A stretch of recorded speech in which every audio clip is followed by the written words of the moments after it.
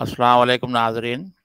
अभी हम डॉक्टर मोहम्मद नाजिम अली साहब से थोड़ी देर पहले गुफ्तु कर रहे थे और तकनीकी वजह वजूहत की वजह से गुफ्तु रुक गई थी।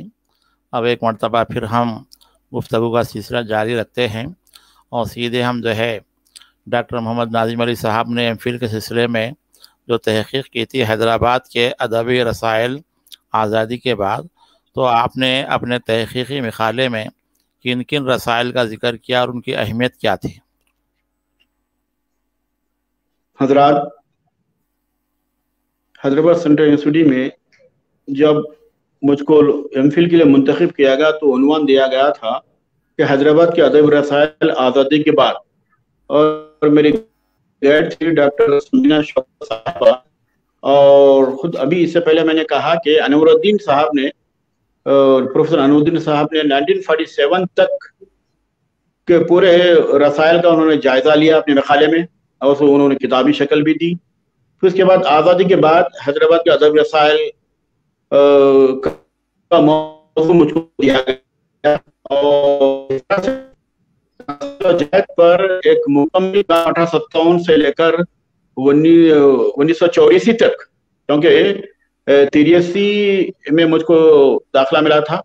तो इस तरह से मैंने 12-14 माह में, क्योंकि उस दौर में यमफिल एक साल का होता था, और शायद आज भी है, लेकिन उस दौर में मेरे चैलेंज के साथ, हालाँकि ये मेरा जो मौजू है, बड़ा फ़ील्ड वर्क का मुतखासी है, और मुझको बहुत ज़्यादा मेहनत करनी पड़ी, क्योंकि एक एक रसायल को ढूंढना पड़ा, आज़ादी के बाद कितने रसायल निकले, और फिर खातन मुदीरा की जानब से भी रसायन निकले।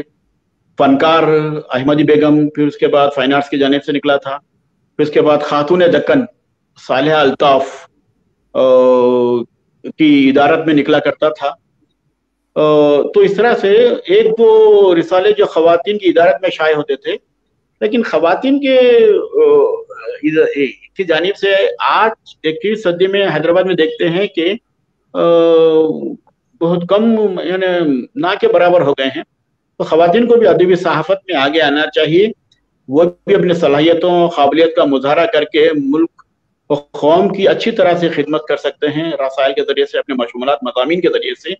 और इस तरह से अब आज़ादी के बाद अगर हम देखें तो सबा उसके बाद सबरस और शगुफा तो सबरस, जनवरी उन्नीस से इसका पहला शुमारा निकला। फिर इसके बाद शगुफा ये भी लगभग आज़ादी के बाद डेढ़ माही फिर उसके बाद माहनामा हुआ अव्वल से आखिर तक मेरे उस्ताद मोहतरम मुस्तफ़ा कमाल इसकी इदारत के फ़राज अंजाम दे रहे हैं। बहुत बड़ा ये काम है। अवध पंच के बाद शगुफा ही उसका तसलसल है और आज भी ये जारी हो रहा है। आज भी तंजो मिजा को फ़रोग देने में मैं कहता हूँ कि बर सग़ीर में ये वाहिद रिसाला है जो बाकायदा छपता है, शाये होता है और एक अहम रिसाला ये माना जाता है शगुफा। और मुस्तफ़ा कमाल साहब ने पूरी अपनी ज़िंदगी इसके लिए उन्होंने लगा दी है तंजो मिजा को फ़रोग देने के लिए। फिर सबरस, जो डॉक्टर मोहुद्दीन खादिर ज़ोर ने इसको जारी किया है, जनवरी उन्नीस सौ अड़तीस से। और इस रिसाले ने भी जबान अदब के फ़रोग में, उसकी वसत में, उसकी तरवीज में उसको असरी माहौल से हम आहंग करने में अहम रोल अदा किया है। ये ऐवान उर्दू, इदारे अदबियात उर्दू की जानी से आज भी निकलता है। प्रोफेसर बेग एहसास की इदारत में इसका गेटअप और सेटअप बड़ा शानदार हो गया है और बहुत खूबसूरत खूबसूरत रिसाले के अलावा इसके मशमूलात भी मखाला नुमा है। अच्छे और मीरी मखाला जिसमें शाये होते हैं सबरस में। दरअसल ये मुदीर की सलाहियत और उसकी सोच और फ़िक्र का रूल होता है कि जिसके तहत इसमें मीरी रसायल को जगह दी जाती है। और मीरी रसायल मीरी अदर से ही रसायल की शिनाख्त होती है। क्योंकि सबरस एक ऐसा महानामा है, आज भी पूरे उर्दू माहौल, उर्दू दुनिया में, उर्दू सहाफत में हैदराबाद का सबरस, कि आज भी पूरे आलम में इसका एक मैार आज भी बरकरार है और आज भी उसकी शिनाख्त है। और दीगर रसायल भी निकले हैं और बंद हो गए हैं। सबा का किरदार आप जानते हैं कि तरफ़ किरदार रहा है। नए लिखने वालों को नए नए अदीबों को नए नए अफसान नगारों को ड्रामे नगारों को रोशनास किया है। और सबा भी उन्नीस सौ पचपन से ये जारी रहा और इसकी इशात अमल में आई। फिर उसके बाद आपके सफ़िया अरीब सलमान अरीब के इंतकाल के बाद सफ़िया अरीब ने कुछ शुमारे उन्होंने निकाले हैं। बहुत कोशिश की है। उसके बाद ये रिसाला उनके इंतकाल के बाद ये बंद हो गया है। और पैकर भी जदीद खतरों वाला रिसाला है। और आज़म राही साहब की इदारा से निकला करता था। पैकर का मैंने मुताला किया है। और ख़ास ख़ास नंबर भी निकाले हैं। और जदीदियत का यह हामिल था। और जदीदियत में भी जदीद अदीबों को शायरों को इसने मुतारफ़ करवाया है। शमशुर रहमान फारूकी वहाँ शखून निकाला करते थे, वो भी जदीद खतरों का, जदीदियत का लंबरदार था।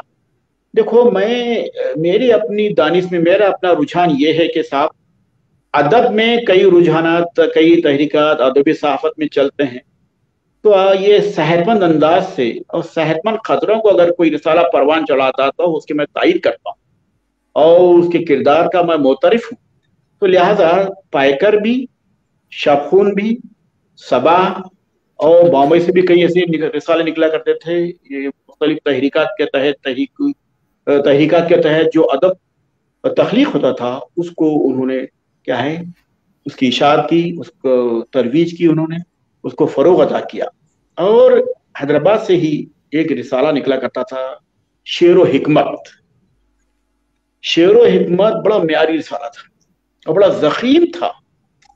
और इससे वाबस्ता प्रोफेसर मगनी तबसम प्रोफेसर शहरियार और अख्तर जहाँ, इन लोगों ने, इन अदीबों ने, इन नखातों ने, इन महसिनों इन तख्लीकारों ने इसको ऐसा मोतबर मुस्तनद बनाया कि पूरे बर सग़ीर में ये तहकीक में और इसके जो मवाद है, मंदरजात है, एक मोतबर मुस्तनद हैसियत रखते हैं। और इनके मंदरजात को मशमूलात को, हवाले की शक्ल में तहकीक में कई लोग हवाला दे चुके हैं बर सग़ीर में पूरे आलमी उर्दू दुनिया में। तो लिहाजा इसके शुमारे आज भी वक़ीत के हामिल हैं बहुत मीरी हैं। रिसर्च स्कॉलर इसका मुताला करें तो इसमें से नई नई चीज़ें नए नए नुकात तहकीकी आपको मिल सकते हैं। तो इस तरह से मगनी तबसम साहब के रहलत के बाद अब शाह नादिरी इसके शुमारे निकल रहे हैं।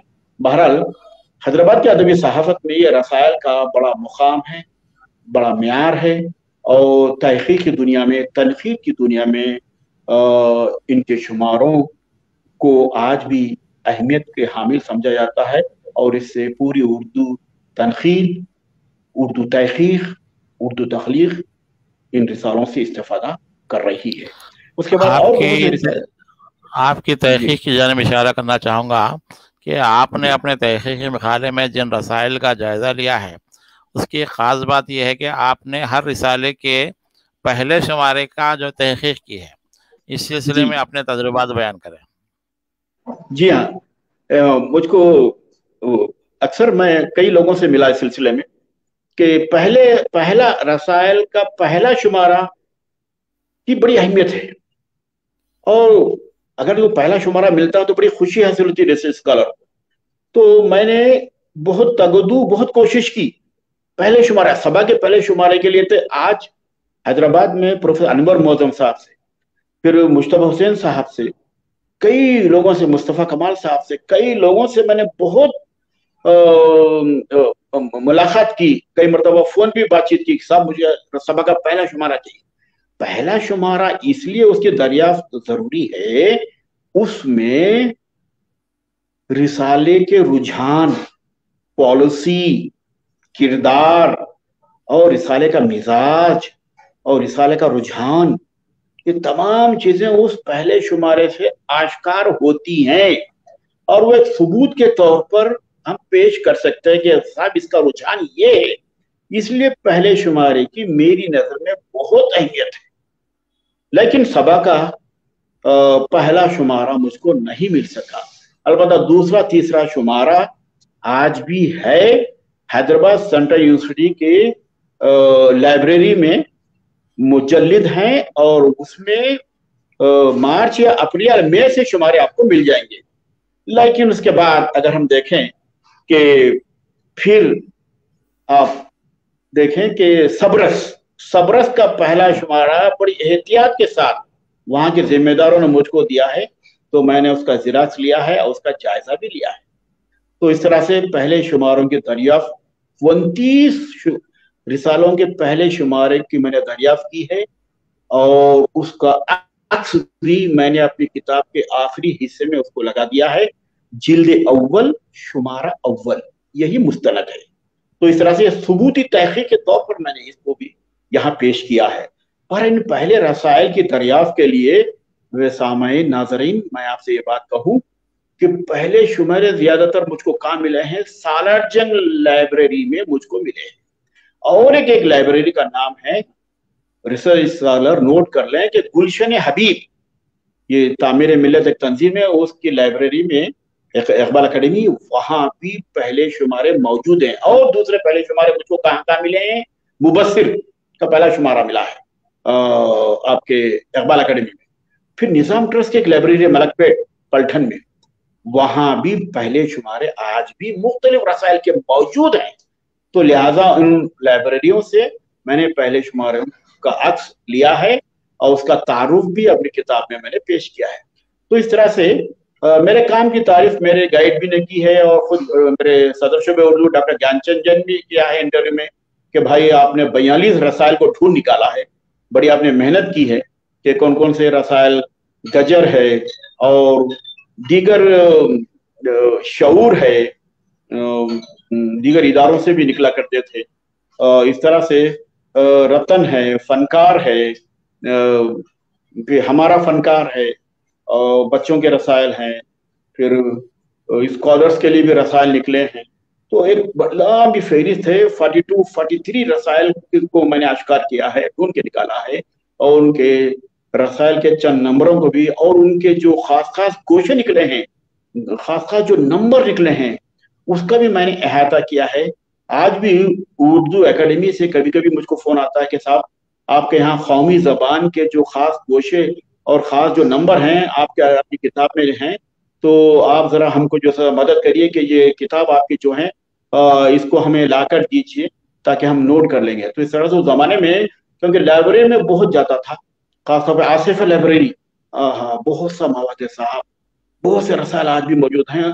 आसिफ लाइब्रेरी में फ़र्स्ट फ्लोर पे जाता था, रशीद साहब थे, मेरी मदद करते थे। सुबह आठ, नौ बजे से शाम आठ बजे तक वहीं रहता था मैं। तो वहाँ भी बहुत से अदबी रसायल का जखीरा है। देखो ये अदबी रसायल हमारा माजी का जखीरा समझकर हमें उसको नजरअंदाज नहीं करना है। हाल का असासा भी है और मुस्तबिल का बहुत बड़ा एक तहजीबी सकाफती सरमाया भी है। इसका तहफ़ हमें करना बहुत ज़रूरी है। मैं तो कहता हूँ कि हैदराबाद के जो अदबी इदारे हैं, जो इलमी इदारे हैं, जहाँ जहाँ भी ये रसायल तल्फ हो रहे हैं, जहाँ जहाँ भी खास खा इसकी निगरानी नहीं हो रही है, इन रसायल को कहीं एक बड़ा उर्दू का मरकज बनाकर हैदराबाद शहर में एक बड़ा मरकज बनाकर बड़ा हॉल, बड़ी एक एक इमारत लेकर जो क्या है उसका इसका तहफुज करें। एक समझ साहब थे, उन्होंने सुनते हैं कि अपना सरमाया लिंगपली में वहाँ कोई जिम्मेदारों को उन्होंने दे दिया है। तो लिहाजा वो सरमाया भी पेश कीमत है पेश बहा है उर्दू जबान अदब के लिए। या उस सरमाया का तहफ़ भी बहुत ज़रूरी है। हमें ये नहीं समझना चाहिए कि माजी के रसायल है। माजी का रसायल भी हाल को मुस्तबिल को एक शूर अदा करते हैं। एक जदी शूर असली शूर भी अदा करते हैं। एक रुझान भी हमें मिलता है।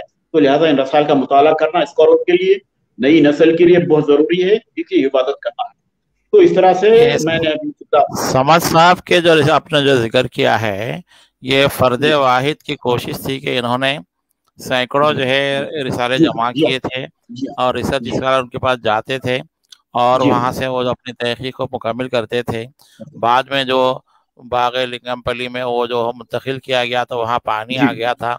फिर उसको अमेरिका से कुछ खास टेक्नोलॉजी के ज़रिए से उन रिसालों को महफूज किया गया। तो समस्या के बारे में और क्या जानते हैं आपके कैसे शख्स थे और क्या क्या रिसाले ये ऐसी शख्सियत थी साहब कि ये आदमी किताबों का और रसायल का बड़ा धनी था। जहाँ कहीं भी रसायल मिलते, अगर मैं फ़ोन करता कि समझ भैया थोड़ा रसायल है तो फ़ौरन हाजिर हो जाते। आठ आने में, उस दौर में आठ आने, रुपया, डेढ़ रुपये में रसायल मिलते थे। हर एक शख्स से मिलकर तफ्तीश करते थे, पूछते थे, भाई, रसायल कहाँ है? तो या पैसे लाइए आपका लाइए ना तो मुझको बोलिए मैं। तो बड़ा एक धुन था, एक जुनून था, एक एक इश्क था रसायल से आदमी को ये। किताबों से बेश था ऐसी बड़ी लाइब्रेरी नूर खां बाज़ार में मैंने विज़िट किया। वहाँ भी बहुत सरमाया बहुत वसी सरमाया उन्होंने जमा किया था इसी नूर खां बाज़ार में। उसके बाद मुख्तलिफ़ जगहों पर मुंतकिल होता रहा किराए का इमारतें लेके वहाँ रखते रहे। तो बहरहाल, ये शख्सियत बड़ी, शायद आज भी वो बाखद हयात है। तो मैं यकीनन, ऐसी शख्सियत शायद ही उर्दू जबान अदब में मैंने देखी है कि ऐसा जो क्या है इश्क का जज्बा किताबों से, रसायल से, रसायल को तो बहुत ज़्यादा तरजीह देते थे। अच्छे अच्छे रसायल लाना, जमा करना अपनी लाइब्रेरी में इनका खास खास खास काम था इनका। बहुत ज़िंदगी में उन्होंने रसायल जमा किए सरमाया जमा किया। उन्होंने बहरहाल इनकी बहुत तारीफ़ करना चाहिए, इनकी खिदमत का एतराफ़ करना चाहिए कि ऐसा जखीरा, ऐसा खजीना रसायल का जरायत का जमा किया कि उससे आज भी नई नस्ल इस्तेफादा कर सकती है। उसमें बहुत कुछ है। उसमें गोशे हैं, खास नंबरात हैं रसायल के और कई रसायल जो क्या है मौजूद हैं। एक समंदर है रसायल का। तो लिहाजा इस्तेफादा करना नई नस्ल का अवलिन फरीजा बनता है कि वो इन रसायल से इस्तेफादा करते हुए एक नई फ़िक्र, एक नई सोच तख्लीक कर सकते हैं। बहरहाल, समर साहब ने बहुत कोशिश की इन रिसालों के ज़रिए से उर्दू जबान अदब को ज़िंदा रखने के लिए। और दूसरी अहम बात यह है कि साहब, आज, क्योंकि सत्तर तक, अस्सी तक रसायल निकलते रहे। लेकिन आज का जो दौर है, खासतौर पर हैदराबाद में अब चंद गिनती के रसायल उंगलियों पे गिनने के काबिल है। बस उतनी रसायल अब निकल रहे हैं और अब इन रसायल के तो मसाइल हैं। वसाइल क्या क्या हैं, आप बखूबी जानते हैं। मोहतरम नाजरीन सामई अब क्योंकि जब तक कि इन रसायल का अखबार का जरायद का खारी ना हो तो इसका मकसद और इसकी इशात के क्या माने हैं? खुद मुश्तबा हुसैन ने कहा था कि उर्दू का आखिरी खारी।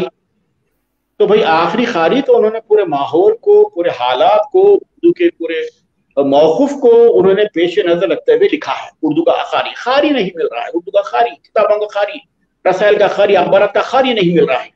तो खारी के लिए अखबार रसायल तरस रहे हैं। बेचारे मुदीर तो शायद कर रहे हैं, लेकिन उसकी बिक्री, उसकी खरीदी नहीं हो रही है। ऑनलाइन पर बहुत लोग, बहुत से लोग देख रहे हैं। ऑनलाइन से जुड़ जा रहे हैं। हाँ मोबाइल डाटा खोल रहे हैं, देख रहे हैं। लेकिन साहब वो लुत्फ नहीं आता जो हाथों में रसायल को रखकर, हाथों में अखबार को रखकर जरायद को रखकर जो पढ़ते हैं, इससे क्या है? मैं तो कहता हूँ कि साहब, जब तक आप हाथ में रिसाला लेकर ना पढ़ें, अखबार लेकर ना पढ़ें, आपकी बसीरत में इजाफा नहीं हो सकता। बहुत मुश्किल है, क्योंकि ये जो माहौल है, अभी हिंदुस्तान का जो माहौल है, पूरी असली टेक्नोलॉजी से मरबूत नहीं हुआ है। लिहाजा आज अखबार जो प्रिंट मीडिया जो है, उससे इस्तेफादा करना नई नस्ल को बहुत ज़रूरी है। चाहे वो स्कॉलर हो तालब इम हो उर्दू के, या उर्दू के पढ़ने वाला हो उर्दू मीडियम से, ज़रूर अखबार खरीदें, रसायल खरीदें, बाकायदा बाजाबा उसका मुताला करें तो यकीन आपकी सलाहियतों में इजाफा होगा।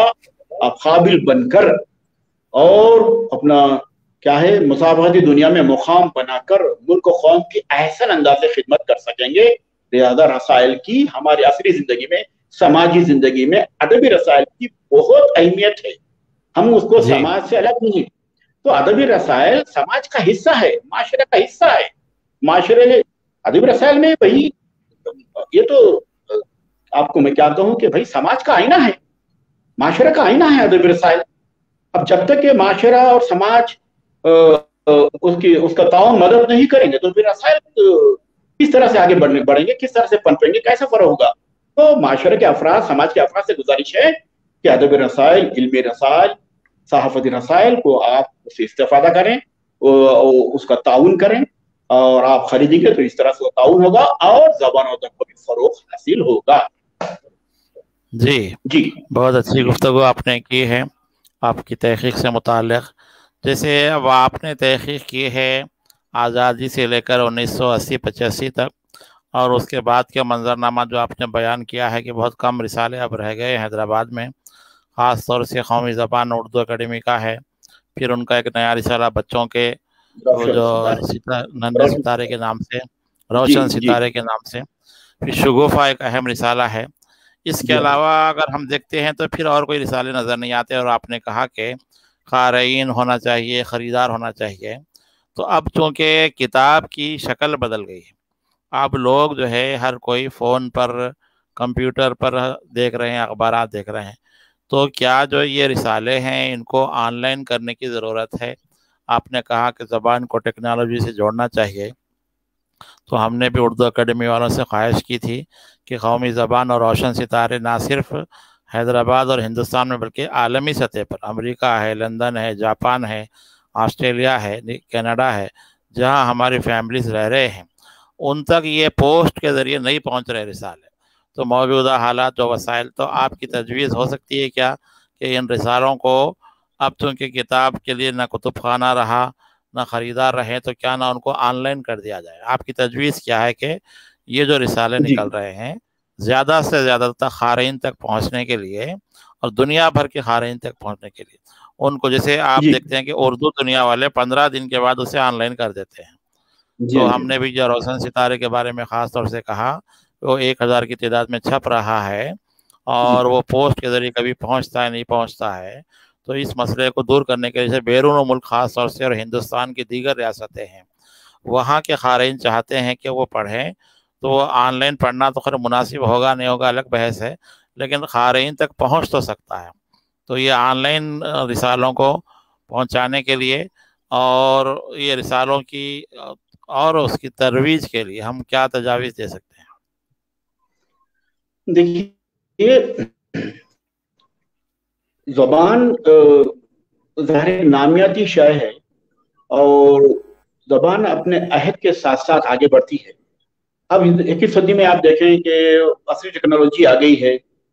मैं असली टेक्नोलॉजी के खिलाफ नहीं हूँ, क्योंकि असली टेक्नोलॉजी के ज़रिए से ही आज उर्दू पूरे आलम में बहुत ज़्यादा फैल गई है। और फिर ये, अब जमाना तो ये साइबर कल्चर का है। कि ज़माना बिल्कुल असली टेक्नोलॉजी का है फेसबुक का है और दीगर ऐप्स आ गए हैं, वसीले आ गए हैं। तो लिहाजा मैं कहता हूँ कि साहब पूरे आलम का अगर पहुँचना है तो असली टेक्नोलॉजी के ज़रिए से ही उर्दू को हम पेश करें। अखबार रसा जरायद जो छप रहे हैं, उसका भी अपना एक वेट हो और टेक्नोलॉजी के ज़रिए से उसको पेश करना ज़रूरी है। अब रहा सवाल के जब असली टेक्नोलॉजी आगे बढ़ रही है तो जबान को भी उससे हमान होना बहुत वक्त का तकाजा है। क्योंकि आ रही है नई शक्ल में तो हमें उसके, उसको अपनाना चाहिए। क्योंकि हमारी जबान क्या है, हिंदुस्तान में महदूद ना रहे, बल्कि पूरे आलम में पहुँचे। तो लिहाजा इसके लिए असली जो वसायल है, असली जो जराए हैं उसको अपनाने की मैं तलखीन करता हूँ। क्योंकि असली टेक्नोलॉजी से ही जबान आगे बढ़ेगी, क्योंकि जमाना ऐसा ही आ रहा है, माहौल ऐसा ही मिल रहा है। तो लिहाजा जदीद जो माहौल है, जदीद जो टेक्नोलॉजी है, उसको यकीन अपनाएँ। लेकिन जब ये चीज़ें आ रही हैं, जब ये तरक्की याफ्ता जराए मिल रहे हैं उर्दू को आगे बढ़ाने के लिए तो प्रिंट मीडिया के जो चैलेंजेस है उस पर भी गौर करना चाहिए। क्योंकि वो भी साथ चले, ये भी साथ चले। ई बुक का जमाना आ गया ई पेपर का जमाना आ गया हाँ? पूरा इलेक्ट्रॉनिक डिवाइसेस के ज़रिए से ये सब कुछ मिनटों में लंबा में, आजकल तो बहुत ज़्यादा टेक्नोलॉजी के ज़रिए से किताबें एक एक मुकाम से लंदन, अमेरिका, वगैरह मिनटों में, लम्हों में पहुँच जा रही है। पीडीएफ के ज़रिए से मोबाइल डाटा के ज़रिए से फेसबुक के ज़रिए से। तो लिहाजा ऐसे मीडियम को, ऐसे मीडिया को मीडियम को हमें नहीं छोड़ना चाहिए। इनसे रॉबिट, इनसे मरबूतियत वक्त का तकाजा है, नजीर है। और मैं तो कहता हूँ कि मेरा यही इखान है कि साहब, जबान को जो वसीले मिल रहे हैं, जो जराए मिल रहे हैं, उसको अपनाने की ज़रूरत है। क्योंकि यूनिकोड के ज़रिए से और दीगर जो टेक्नोलॉजी है, उसमें जबान को उससे हमाहंग करना बहुत ज़रूरी है। हमारे हैदराबाद में अशर फरहान उबैद साहब, फिर आप असलम फारूक साहब और दीगर चंद लोग हैं जो जबान को साइबर वसीलों से, साइबर जराए से, साइबर कल्चर से और टेक्नोलॉजी से मरबूत कर रहे हैं। ये अच्छी बात है खुशाइन बात है जबान के लिए। इस तरह से पाकिस्तान में और दीगर ममालिक में भी हो रहा है। तो लिहाजा ये मैं नहीं कहता कि साहब असली टेक्नोलॉजी को ना अपनाएँ। जबान के फरोग के लिए, असली टेक्नोलॉजी खासतौर पर उर्दू जबान और अदब के लिए, उर्दू को फरोग देने के लिए, असली टेक्नोलॉजी का खातिर खा कमा हो इस्तेमाल करना वक्त की ज़रूरत है। हालात का तकाजा है। जब हम करेंगे क्योंकि आइंदा क्योंकि यही टेक्नोलॉजी रहेगी आइंदा सदियों में यही टेक्नोलॉजी रहेगी। तो जबान के लिए अप टू डेट जो कुछ भी कमी है असली टेक्नोलॉजी में फिट करने के लिए उसको एडजस्ट करने के लिए उस पर गौर और फ़िक्र करें। हमारे जो साइबर दानिश्वर हैं और फ़िक्र करके जो है उसको पूरी तरह से जिस तरह दीगर जबानें तेलुगु जबान मलयालम जबान और दीगर जबानें मरबूत हो गई हिंदी जबान हाँ, अरबी जबान तो इसको हर लिहाज से क्या है असली टेक्नोलॉजी से मज़बूत कर दें। तो यकीन ये जबान आइंदा सदियों में ज़िंदा भी रहेगी, लेकिन प्रिंट मीडिया वर्खी सहाफत, इसके मुस्तबिल को साथ साथ लेकर चलें, इसके जो तकाजे हैं, इसके जो मसाइल हैं, इसको भी हल करें। बहर दोनों जो क्या है तरीकों को अपनाना आज के आज का तकाजा है। इन दोनों जरियों से उर्दू जबान यकीन मैं तो कहता हूँ कि आगे फरोग पाएगी, तरक्की होगी, और इसका अदब परवान चढ़ेगा और पूरी दुनिया में फैल जाएगा और दुनिया इस्तेफादा करते रहेगी। बच्चों के रिसालों के सिलसिले में एक अहम बात है कि आजकल बच्चे जो है फ़ोन में और मुख्तलिफ़ किस्म के वीडियो देखने में खेल खेलने में उनकी दिलचस्पी है। तो पहले ज़माने में देवमालाई कहानियाँ कार्टून और बच्चों की दिलचस्प नज़में वगैरह हुआ करती थी।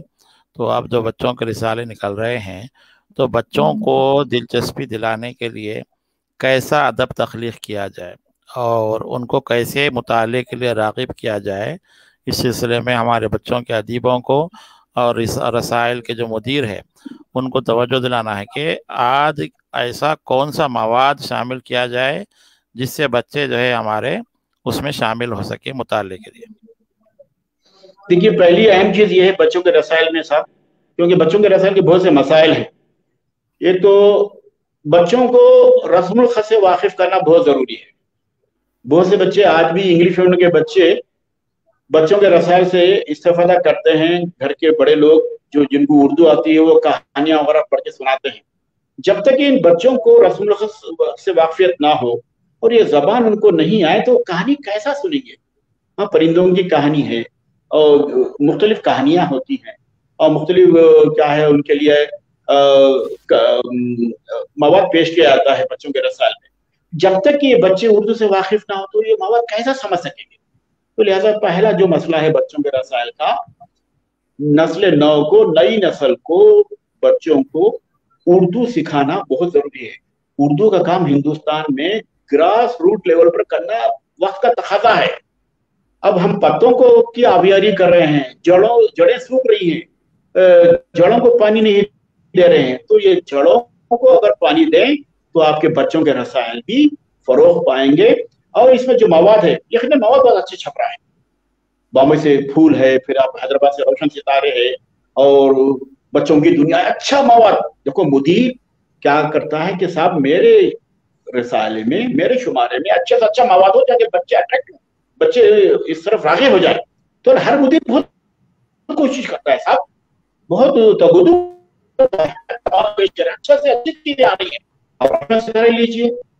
कैसे कैसे? जिली उन्वानात के तहत हाँ, उर्दू क्विज है मालूम का ज़रिया है इल्म का ज़रिया है और फिर उसमें कहानियाँ हैं फिर हंसने हंसाने की बातें हैं फिर उसके बाद ऐसा जो सो क्या है मवाद मशगूल पेश कर रहे हैं। लेकिन एक अहम बात असलम फारूक साहब मैं ये बताता हूँ कि साहब हमारे बच्चों की दुनिया टीवी से जुड़ गई है फेसबुक से जुड़ गई है फिर वो वो जो खेल बच्चे खेल रहे हैं पबजी वगैरह तमाम जो क्या है, ये इस कार्टून ये चीज़ें जो क्या है आपको इलेक्ट्रॉनिक डिवाइसेस पर ये बरखी जराए वसीलों से बच्चों को मिल रही है। तो लिहाजा बच्चे, बच्चों के रसायल से दिलचस्पी रखना कम कर दिए हैं। अब ज़्यादातर इनका वक्त क्या है, ये आपके टीवी सेलफोन और दीगर जो ज़रिए है, उसमें बच्चे अपनी मिजाज के मुताबिक कार्टून देख रहे हैं। या कुछ अहम चीज़ें देख रहे हैं ताकि उनके मालूम में इजाफा हो, चाहे उनकी आबियारी हो। लेकिन ये प्रिंट मीडिया के जो रसायल होते हैं, बच्चों के रसायल, इसमें भी कमाखा उनके मिजाज के खातिर, उनके रुझान के खातिर, उनके दिलचस्पी के लिए बहुत सी चीज़ें शाये हो रही हैं। लेकिन वो दिलचस्पी पैदा करने के लिए हमें चाहिए कि उनको इस तरह की तरकीब दें, इस तरह की तरबियत करें उनकी कि बच्चों के जो रसायल छप रहे हैं, शायर हैं तो उससे भी जो है इस्तेफादा करने की तरफ़। क्योंकि आदत उनका मिजाज बन रहा है।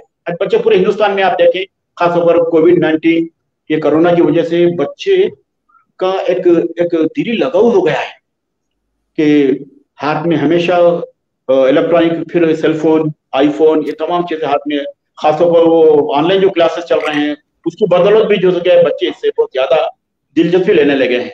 लेकिन बच्चों के रसाल जो प्रिंट हो रहे हैं इसका जो मवाद है बच्चों की दुनिया में बड़ा इनकलाब ला सकता है। बच्चों के माहौल में बच्चों की ज़िंदगी में बहुत बड़ा जो क्या है एक आ, नया रुझान एक नई तरबियत उनको मिल सकती है। लेकिन हमें कोशिश करना चाहिए कि माँ बाप क्योंकि माँ बाप भी जो क्या है अहम रूल अदा कर सकते हैं कि वो बच्चों के जो रसायल हैं रोशन सितारे हैं फिर उसके बाद और बहुत से हैं। फूल आता है बॉम्बे से और दीगर रसायल हैं। उससे इस्तेफादा करने को तरकीब दे, घर पर मंगवाए और बच्चों को कहानियाँ पढ़कर सुनाए, जो मवाद है। मैं आज भी कहता हूँ कि माँ बाप उर्दू माँ बाप से उर्दू तबके से कि उर्दू को पढ़कर सुनाए। अगर उनको नहीं आता है तो फिर भी पढ़ तो सुनाए। कुछ ना कुछ तब्दीली आ सकती है, उनकी ज़िंदगी बदल सकती है। उनकी इलमियत में, काबिलियत में इजाफा हो सकता है। तो इस तरह से हमारे उर्दू भी रियासत तेलंगाना भी जो सके रोशन सितारे शाये करके बच्चों की तरबियत, बच्चों की एक बसीरत में इजाफा कर रही है और अच्छे से अच्छा मवाद पेश करने के लोग कोशिश कर रहे हैं और इससे खातिर खा बच्चे इस्तेफादा करें, नस्ल इस्तेफादा करें तो यकीन उनका मुस्तबिल समझ सकता है, उनकी खातियत और उनमें सलाहियत पैदा हो सकती है और वो आगे चलकर जैसे क्या है, एक अच्छा मुकाम सोसाइटी में समाज में हासिल कर सकते हैं। ये तो बड़ों के रिसालों के बारे में एक बात है। ये जो आपने बच्चों के रिसालों के ताल्लुक से बहुत अच्छी बातें कही है कि उनको रस्म सिखाया जाए और उनकी दिलचस्पी का मवाद उसमें शामिल किया जाए। उसी तरह जब हम बड़ों के जो रसायल देखते हैं जैसे अब सबरस की मिसाल है कौमी ज़बान है और दीगर रसायल है इसमें तहकीकी मजामी होते हैं। जो तहकीक के तालब इलमों के लिए और इस के लिए कारामद हैं। लेकिन आम तौर पे जो उर्दू के क़ारीन को बढ़ाने के लिए उनकी दिलचस्पी के लिए अगर हम शायरी ले तो गज़ल नज़में शाये होती हैं लेकिन अफसानों का जो हिस्सा है बहुत कम हो गया है। पहले आप जानते हैं कि बीसवीं सदी के नाम से एक रिसाला निकलता था इसमें हाँ बहुत उम्दा अफसाने छपते थे और कई अफसाना निगारों को बीसवीं सदी ने तरगीब दी। तो अब मौजूदा ज़माने में क़ारीन की दिलचस्पी बढ़ाने के लिए उसमें अफसानवी अदब की अहमियत कैसी है, आप उसको, इसके बारे में तो अपना ख्याल ज़ाहिर करें। हाँ आज भी जो संजीदा जो रसायल निकल रहे हैं, सबरस हो या दीगर रसायल जो हो, उसमें खारैन की दिलचस्पी के लिए मवाद तो आ रहा है। तहकीकी मदाम भी छप रहे हैं तनखी मदाम भी छप रहे हैं और मखालत भी छप रहे हैं। और तख्लीकी हिस्सा भी अच्छा है शानदार रहा है। अब अफसानों के बारे में क्योंकि आज इंसान को फुर्सत नहीं मिल रही है। हर कोई बहुत मसरूफ है और हमारा समाज एक सारफियत एक मादियत के सैलाब से दो चार है। और समाज में किसी को, को उतनी फुर्सत नहीं है कि एक अफसाना पढ़े, एक नावल पढ़े। लेकिन फिर भी बस खारिन हैं, अफसाने पढ़ रहे हैं, और नावल पढ़ रहे हैं, और अदब पढ़ रहे हैं, तख्लीक खात पढ़ रहे हैं। लेकिन अब आपका यह सवाल है कि अफसाने कम शाये हो रहे हैं। लेकिन अच्छे उम्दा अफसाने भी शाये हो रहे हैं। जदीद अफसाना नगारों में भी बहुत से लोग लिख रहे हैं। शुमाली हिंदुस्तान के अफसाना नगार हैं जनूबी हिंदुस्तान के भी अफसाना नगार हैं, और अपने रसायल में, अपने शुमारों में अच्छे उम्दा अफसाने भी शाये हो रहे हैं। और अफसाना क्या है? समाज की अक्कासी है, माशरे की अक्कासी है। कोई बड़ा हादसा हो गया, कोई ऐसे वाकत रुनमा हो गए, अफसाना बन जाता है। अफसाना निगार उस तजुर्बे को, उस मुशाहिदे को, उस हादसे को हवादिस को अपने तखैर की मदद से, अपने फ़िक्र की मदद से, फनकर अंदाज से वो अफसाना तख्लीक करता है। तो उमदा अफसाने भी आज भी लिखे जा रहे हैं और आज भी रिसालों में शाये हो रहे हैं। बहरहाल, अफसाने और नावल, फिर तनखीद, तहकीक, ये सब अपनी जगह अहम है। कोई अफसाना कमतर नहीं है। अफसाने में भी बयानिया है, कहानी है, किरदार है माशरा है, माहौल है। तो लिहाजा अपने खारी को अफसाना बहुत कुछ समाजी बसीरत, माशरती आगही अता करते हैं। तो आज भी अफसाने माशाल्लाह हमारे हिंदुस्तान के मैगजीन में, फिर बर सग़ीर के मैगजीन में अफसानों को जगह दी जा रही है। उमदा अफसाने भी छप रहे हैं और उसे एक बसीरत, एक शौर भी खारिन हासिल कर रहे हैं और उसे अपनी ज़िंदगी में एक तब्दीली भी आ रही है अच्छे अफसानों से। और अफसानों को जगह दी जा रही है और लिख रहे हैं लोग और शायद भी हो रहे हैं अफसाने। यस जी बहुत अच्छी गुफ्तगु रही आज के आ, आपकी हमारे। तो हम उम्मीद करते हैं कि मौजूद सामयीन नाजरीन को ईद उल अजहा की मुबारकबाद पेश करता हूँ। और साथ साथ मेरे चेदा चेदा चंद ख्याल को उन्होंने समात फरमाया है। आ, मैंने एक अदना सी कोशिश की है कि कुछ जवाब दे सकूँ। मैं डॉक्टर असलम फारूक साहब का, अब जितने भी नाजरीन सामीन इससे जुड़े हैं, मैं उनका भी शुक्रिया अदा करता हूँ कि उन्होंने मुझको समाप्त किया और मेरे अपने ख्याल की समाप्त की। बहुत आप तमाम का समी में दिल से मैं शुक्रिया अदा करता हूँ, खासतौर पर जनाब असलम फारूकी का। वो वक्ता फ़क्ता कभी कभी इस तरह से मेरे गुफ्तु का अहतमाम करते हैं, इंटरव्यू का अहतमाम करते हैं। मैं उनका भी अहले उर्दू की जानब से आपका शुक्रिया अदा करता हूँ। जी आज अलहमदिल्ला जो है बहुत अच्छी गुफ्तु रही है। उर्दू रसायल के हवाले से और तहकीक में आपने जो काम किया था हैदराबाद में आज़ादी के बाद उर्दू रसायल और बीसवीं सदी के अवाखिर में और इक्कीसवीं सदी में उर्दू रसायल की सूरत हाल और मुस्तबिल के क्या इम्कान हैं। तो हम उम्मीद करते हैं कि हमारा जो उर्दू का खारी है जैसे मुशतबा हुसैन ने लिखा था कि उर्दू का आखिरी खारी तो उन्होंने उस ज़माने के अतबार से लिखा था लेकिन पहले के मुकाबले में उर्दू आज ज़्यादा तरक्की कर रही है। अभी आपने देखा कि उर्दू अकेडमी का जो सेमिनार हुआ था वेबिनार उर्दू हम्म। सहाफ़ियों की तरबियत के लिए कौमी सतह पर बहुत सारे सहाफ़ी जुड़े थे। इससे अंदाज़ा होता है कि उर्दू सहाफ़त भी ज़िंदा है।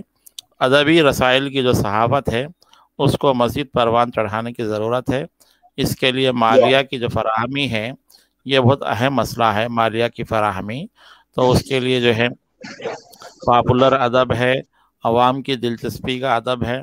उसकी जानब तोज्जो जाए, लिखने वालों को तरगीब दी जाए और हमारे माजी का जो उर्दू का अदबी सरमाया है, उससे इंतखब भी जो है शाये किया जाए। प्रेमचंद है, क़ुरतुलैन हैदर है, मंटो है, इसमत चौकताई है, राजेंद्र सिंह बेदी वगैरह। इनके मंतखबा अफसानों को जो नई नस्ल वाकिफ़ नहीं है उन्हें भी पढ़ाया जाए तो एक दिलचस्पी का माहौल बन सकता है और हमारे रिसाले परवान चढ़ा सकते हैं। ये जो फेसबुक की गुफ्तु हुई है तो ये सिलसिला आगे भी जारी रहेगा। एक सहूलत है कि हम घर बैठे एक दूसरे से रबता करते हुए किसी मौजू पर गुफ्तु कर सकते हैं। तो आज की इस गुफ्तु को मैं यहीं ख़त्म करते हुए इस उम्मीद का इजहार करता हूँ। कि आज जो कुछ ना, डॉक्टर नाजिम अली साहब ने इजहार ख्याल किया है, उससे हम लोग मुस्तफ़ हुए शुक्रिया। शुक्रिया चलते खुदा हाफिज़।